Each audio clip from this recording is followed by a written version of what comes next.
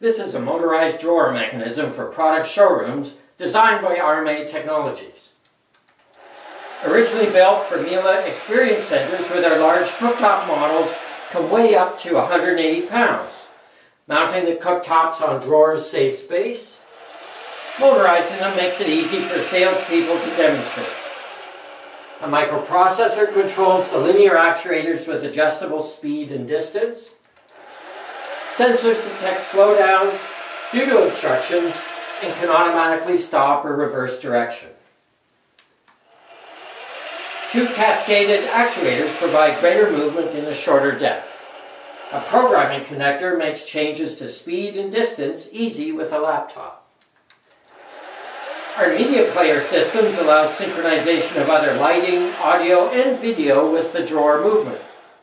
Contact RMA Technologies today for your custom electromechanical solution.